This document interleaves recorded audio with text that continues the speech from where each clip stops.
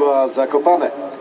Tak jak mówiłem, półmetek pierwszej serii ocenianej, otwartego konkursu skoków w ramach Międzynarodowego Memoriału Olimpijczyków na skoczni Szczyrk Skalite.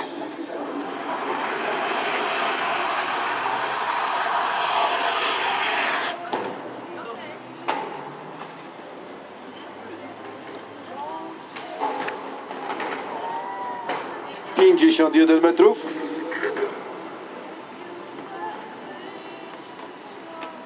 Numerem 47 Piotr Byrski, Wisła Zakopane.